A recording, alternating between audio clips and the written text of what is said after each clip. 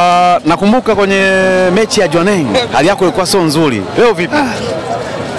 Leo niko poa kabisa ndugu yangu yaani ile mechi achana nayo yule babu Eh. lakini mimi nasema tu siku zote yani ile ilijirudia msimu uliopita ule kama msimu wa tatu ile kina tukatolewa mapema sana na Jusongo lakini ikaenda ikaenda tukaja kukuta natoka draw na nani na nani mwisho wa siku tukakaa vizuri. Simba ndio iko hivyo. Na ukiangalia sasa hivi wachezaji wao ambao wanakuja wageni wapo na huyu kocha ndo kabisa kaleta morali mpya kabisa. Alafu kocha kaanza vizuri. Kaanza na ushindi mzuri. Alafu uwanja huu tulikuwa tunahofia hofia lakini uwanja huu Mwenyezi Mungu aita baraka yake mvua nini mambo mazuri tumeshatoa kila kitu.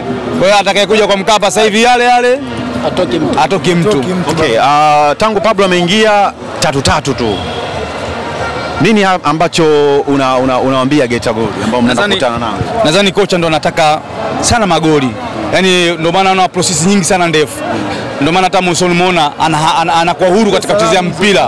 Kwa hiyo mosoni yeye ndio mtu wa kufanya vitu vingi sana. Ndio maana kocha kamwacha lakini kocha yule aliotoka yule mara nyingi alikuwa anamfanya sasa kama anamtoa Monson wakati uko mfaya umeelewa vizuri matokeo yake yanayokuta yale pale. Lakini nimefurahi yote kwa yote Simba iko vizuri. Yani Simba hii iko vizuri kuliko msimu uliopita. Yani amini nawaambia nawaambia mimi mashabiki wenzangu na nawaambia Simba hii iko vizuri kuliko msimu uliopita. Umeelewa vizuri eh? kwa sababu hawa kina Kanuti ndo wanakuja kuja unawaona.